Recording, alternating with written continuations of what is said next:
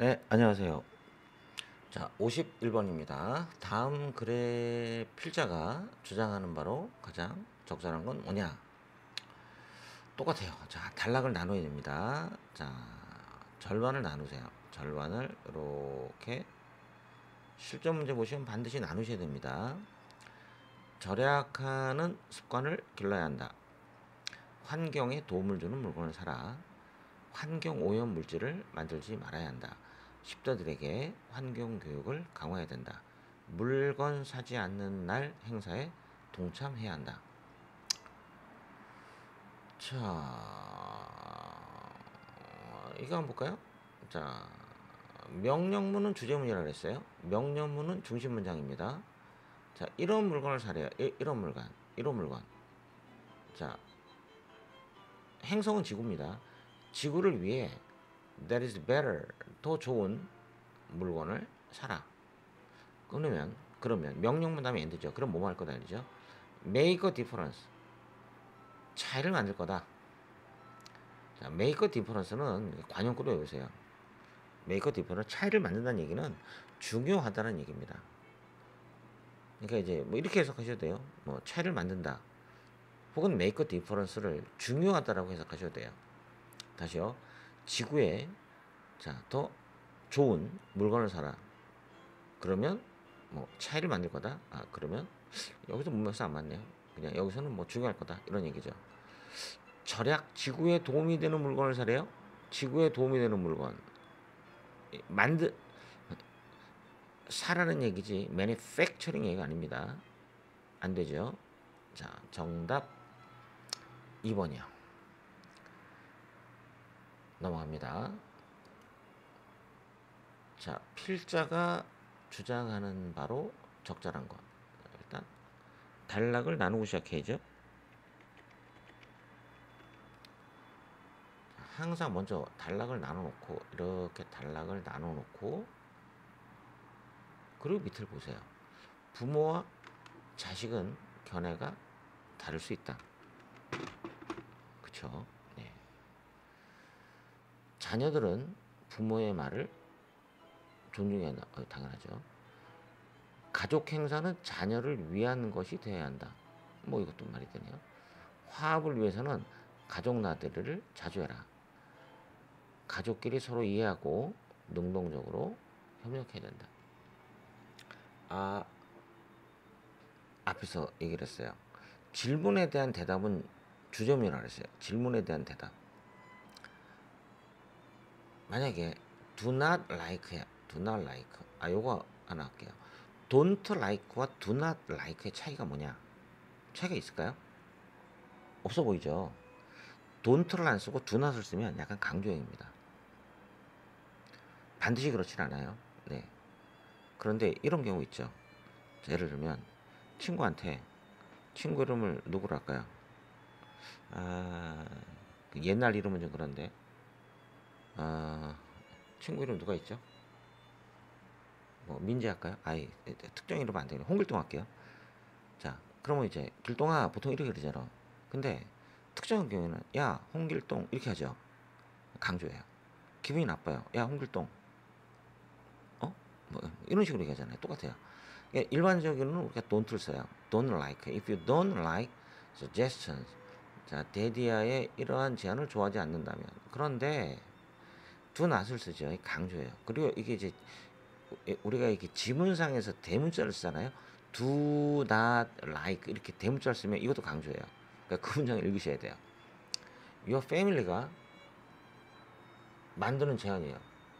어, 쉼표 못 넘어갑니다. 이렇게 이렇게 괄호를 닫아야 돼요. 아이 괄호처럼 안 보여. 이렇게 괄호를 닫아야 돼요. 너의 패밀리가 하는 그런 제안을 자, if you don't like it, like it. 어 근데 너가 정말 기분이 나쁘다라는 속뜻이 있어요. 어떻게 하냐고요? 그냥 느낌이에요. 아마 출제자는 그런 느낌으로 썼을 텐데 모르죠. 출제자는 알 수가 없으니까 글쓰기는 알 수가 없으니까. 자, why don't you suggest? 뭐 하는 게 어때 이런 얘기죠. Why don't you suggest? Some plan yourself. 어, 강조예요. 강조. 완전한 문장에 제기대명사를 한 번 더 쓰면 강조예요. 아, 몇 가지 플랜을 야, 너가 제안하는 게 어때? 이런 얘기예요. 그러니까 얘도 강조, 얘도 강조예요. 아, 그러면 여러분의 가족이 하는 그런 제안을 제안을 여러분이 마음에 들어하지 않는 경우에는 여러분 스스로 몇 가지 계약 그, 그, 그 계획을 제안하는 게 어때?라는 얘기죠. 그죠? 가족이 만드는 제안이 마음에 안 들면 아, 여러분이 그냥 제안을 하세요 하는 얘기예요. 이거밖에 안 빠지네요. 자, 바쁜 부모님들은 will be happy일 거래요. 행복할 거래요. if 먼저 해석합니다. 부사절 먼저 해석해야 돼요. 만약에 여러분이 suggest an evening fun for family or family visit 어이 계속 이 전치사명사로 묶여져 있어요. 자, 볼게요. 앞에는 쉬우니까 바쁜 부모님은 행복할 거다 하는 얘기예요. 만약 여러분이 자 가족을 위한 즐거운 밤이네요. 가족을 위한 family를 위한 evening of fun이에요. 자, 즐거운 밤이나 혹은 someplace 어딘가에 가족 나들이 family visit 이거를 제안한다면 바쁜 부모님들은 행복할 거래요. 그러면 4번이 답처럼 보이죠. 그죠? 근데 얘는 안 돼요. 왜 안 되냐? 중에 하나잖아요. 중에 하나. 얘가 답이라면은 얘는 어떻게 해요? 안 되죠. 그죠? one, 그러니까 one of them이 되죠. 그러니까 예시, 예시문이 되는 거야. 그 주제가 아니죠. 너의 생각은 메이, 자, 불행은 가져오다예요. 가져오다. 이걸 가져올 거다. 얘- 얘네요. 이거까지네요. 자, 가족 화합과 행복을 가져오. 그러니까 여러분이 제안을 하면 가족의 화합과 행복을 가져올 거다라는 게 이 글의 주제예요. 만약에 여러분이 가족 나들이나 아니면 가족을 위한 즐거운 밤을 제안하면 바쁜 모- 부모님들은 즐거워할 거죠. 행복해 할 겁니다 라는 얘기인데 그렇다고 4번을 주제로 하기에는 범위가 너무 좀 한정적이에요. 안 되겠죠. 아, 얘는 더 말도 안 되죠. 그죠? 네. 이 두 번째 단락의 전체 이야기를 다 종합을 해보면, 네, 이 얘기가 되겠죠. 그죠? 뭐죠? 어, 이제 바쁜 부모님이 계세요. 네. 가족의 즐거운 밤이나, 가족을 위한 즐거운 밤이나, 어딘가로 가족의 나들을 제안하면 부모님들은 어떻게 행복하시, 어, 행복해 하실 거예요. 이런 생각은 여러분의 이런 생각은 가족의 화합과 행복을 가져올 겁니다. 라는 이야기니까 정답은 네, 5번이 더 좋죠. 자, 53번. 다음 글에 필자가 주장하는 요지를 고르세요. 하나, 둘, 셋, 넷. 자, 이게 홀수, 홀수면 두 번째 단락을 더 많이 줘요. 아, 이거 해야 되는군요. 얘를 더 이렇게 많이 줘요. 이렇게. 네. 그리고 두 번째 단락에서 줄을 주세요. 자, 토플의 난이도를 자 조정해라. 토플의 타당도가 의심스럽다. 자, 토플 점수에 관계없이 입학을 허가해라. 다음에 현지 어학 연수 아 현지 어학 연수 이수자한테는 토플 시험을 강요하지 말아라. 미국 대학 지원자는 반드시 어, 현지 어학 연수를 받아라. 자 여기 한번 볼까요? 자 그런데 다, 다 읽었어요. 만약 그 학생이 has, has 추천서요. 자 intensive English language 프로그램이에요. 이거 상급반이죠. 인텐시브는요. 상급반 영어 언어 프로그램에 그런 추천서를 가지고 있다면 자, reason for TOEFL이에요. 토플에 대한 이유는 없다죠. 아, 이게 추천서를 가지면 좀 없어도 된대요. 아, 여기 이, 벌써 나오네요. in conclusion. 결과적으로라는 말이 나오네요. 그럼 필자가 주장하는 요지는 아, 여기 벌써 여기 첫 번째 단락에 결과가 있네요. 그죠? 볼까요? It's not fair. 가조 진조입니다. 가조 진조예요. 가조는 정당하지 않대요. deny 하는 건 정당하지 않대요. A student university admission. 학생 대학 입학을 부정하는 건 공정하지 않다. 부사절 먼저 해야죠. 얘부터 하는 거예요. 1번. 얘가 2번입니다. 자, he or she 학생이 has not passed예요. has not passed. 토플 테스트를 통과하지 못했기 때문에 학생 대학 입학을 부정하는 건 공정하지 않다. 특히 그 학생이 studied 영어를 in the United States 미국에서 for semester 한 학기 동안 공부를 했다면 아, 이 토플 시험에 합격하지 않았다는 이유로 입학을 부정해서는 안 된다요. 답 나오죠. 이건 아니죠. 왜요? 미국에서 공부해야죠. 미국에서. 미국에서 한 학기 동안 공부를 그 학생, 만약 특히, 특히 그 학생이 영어를 미국에서 한 학기 동안 공부를 했다면 토플 시험을 패스하지 못했던 이유로 대학 입학을 거절해서는 안 된다요. 이건 안 되죠. 이 얘기는 되죠. 그죠? 예, 이 얘기는 되죠. 이또 아니죠. 반드시는 아니에요. 반드시. 반드시 이게 말이 안 되죠. 정답, 네. 4번이요.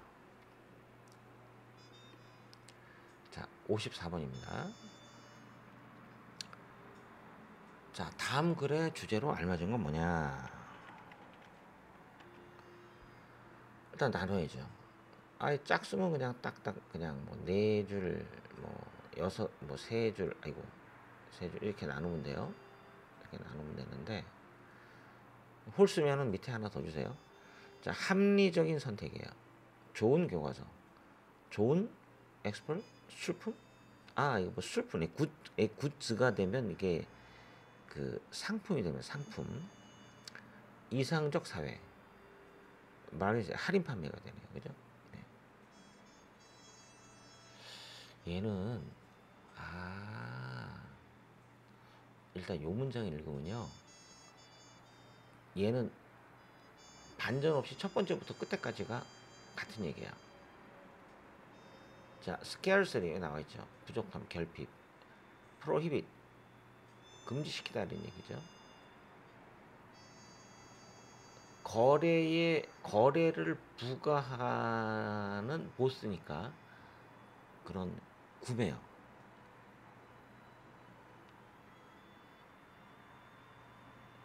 책과 데이트 이 데이트는 아마 그그저그그 이성 간에 그냥 저 맛있는 거 먹고 놀러 가는 거 그거예요. 책과 데이트 그 두 가지의 거래를 어 잠깐만요. 아 여기네 여기 여기 여기 끊어야 되네 이렇게 두 개 다의 구매를 금지시키고 임포스는 부과돼요. 거래를 부과한다. 그러니까 거래를 어, 하도록 한다 이런 얘기네요. 이 거래에 대한 부연 설명이에요. 책이나 데이트 둘 중에 하나의 거래를 자 impose 부과한다는 얘기야. 아 부족하면 선택을 요구한다 이런 얘기네요. 자그 얘기가 첫 번째 문장에 나와 있어요. 여기에 나와 있어요. 볼까요? 부족함이 존재한다면 선택은 만들어져야죠. 개인과 사회에서 선택이 만들어져야 한다는 얘기예요. 그래서 부족함은 자 구매를 금지시키고 아, 두 개, 두 개의 그 그러니까 선택지 중에 보스의 구매를 금지시키고 둘 중에 둘 중에 거래를 부과한다 이런 얘기죠. 각각의 선택은 자 결과를 가지고 있다 이렇게 되죠. 합리적인 선택이 되죠. 교과서, 수출품, 이상적 사회, 할인판매 다 안 되죠. 되게 쉽죠. 자, 55번. 다음 글을 통해서 자 우리가 배울 수 있는 교훈은 뭐냐? 자 이렇게 홀수가 나오면 이렇게 두 번째 단락을 한 줄을 더 주세요. 이렇게 한 줄을 더 줘요. 이렇게 이렇게. 아 요거는 이제 속담인데 그냥 네이버 사전 치시면 다 나옵니다. 자, 뭐, 얘얘 읽으면 답이 나올 것 같아요. 자, 마침내, 자, 그것은, 얘가 누구죠? 얘죠. 반드시 대명사는, 대명사는 확인하셔야 돼요. 우리가 지침추론 문제 나오죠. 그러니까 평소에 지문을 읽으실 때, 대명사는 얘가, 어? 그게 이제 그 독해력 향상에 도움이 됩니다. 이- 그냥 우리가 통상은 이끌어 그냥 그것 그러고 말아요. 이시 누군지 무명하게 따지셔야 돼요. 그 훈련을 하셔야 독해력 향상에 도움이 됩니다. 걔는 그 아이는 to 어디 어디에 이르다 도착하다죠. 꼭대기에 도착했다. 베이비 멍키가 하는 얘기입니다. 그리고 전치사명사 바로 묶어야지. 얘를 주어로 보시면 안 돼요.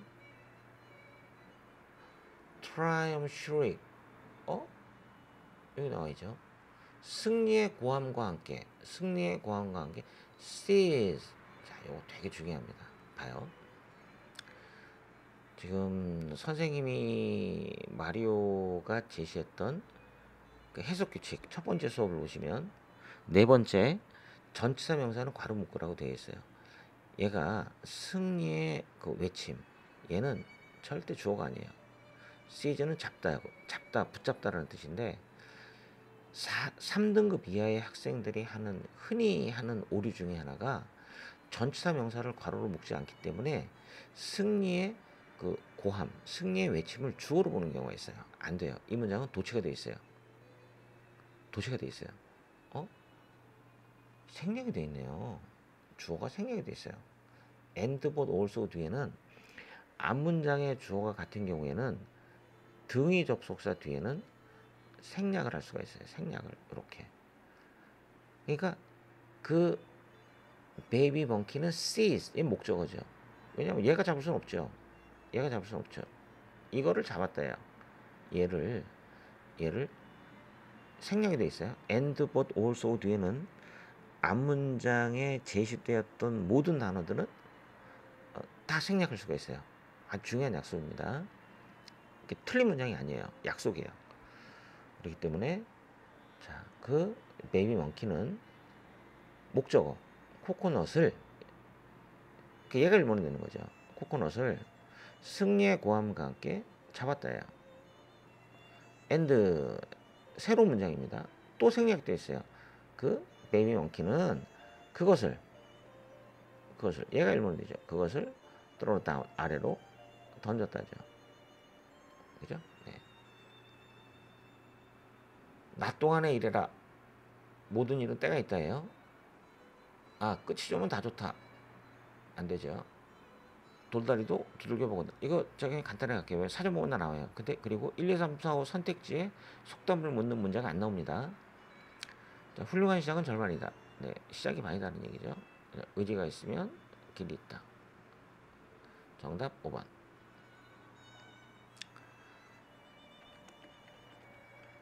자, 56번 다음 글에 아, 요지로 알맞은 걸 골라라. 자, 일단 단락을 나눠 놓고요. 이렇게 처음부터 이렇게 수업을 따라온 학생들은 지금 이렇게 이거 안 읽어도 된다는 거 아실 거예요. 지금 50 50개 넘게 제가 문제 해설을 했는데 그러니까 뭐 이렇게 교육 목적으로야 제가 하지만 실전은 실전 문제를 볼 때는 두 번째 단락에서 답을 근데 100%는 아닙니다. 안 그런 경우도 있어요. 첫 번째 단락을 읽어야 되는 경우도 많습니다. 하여간 단락을 나눠 놓고 두 번째 단락에서 답을 찾는 연습을 하세요. 근데 만약에 두 번째 단락에서 답을 못 찾겠어요. 그땐 뭐 그냥 어쩔 수 없죠. 다 읽어야죠. 코를 훌쩍이는 거는 감기의 신호다. 건강한 사람은 코를 훌쩍이지 않는다. 코를 훌쩍이는 건 슬픔의 표시다. 코로 감정을 나타낼 수 있다. 코는 왜곡에 민감하다. 자, 다시요. 이 위의 지문은 범위가 정해져 있지 않습니다. 왜냐하면 그 뭐 영어 지문은 범위가 없어요. 그러니까 하여간 읽고서 코에 관련된 얘기를 알려면 참 많은 시간과 노력이 필요해요. 근데 우리가 선택지를 먼저 읽으면 어 위는 코 감기 키워드가 나오죠. 그죠? 네, 코 감정, 코 외부 공기. 따라서 반드시 네, 그 선택지를 먼저 읽으시고 특히 한글로 되어 있으면 너무 감사하죠. 왜? 위에 지문을 미리 해석을 다 해주잖아요. 자, 스니프라는 거 밑에 나와 있죠. 코를 훌쩍이는 거는 항상 항상 누군가가 아프거나 슬프다는 걸 의미하지 않는데요. People은 이럴 때 부사를 먼저 해석해요. 따라서 얘를 먼저 하는 거예요. 헐, 사랑에 빠질 때 코를 훌쩍인대요. 이 사, 이- 이런 사람이 있으니까 글을 썼겠죠. 따라서 따라서 만약 누군가가 스니을링 하면 감기에 걸리지 않은 경우도 있대요. 감기에 걸리지 않을 경우도 있다니까 1번을 답을 찾으면 절대 안 되겠죠. 아니죠. 아니죠. 어, 가능하죠. 정답, 네, 4번입니다. 네, 수고하셨습니다.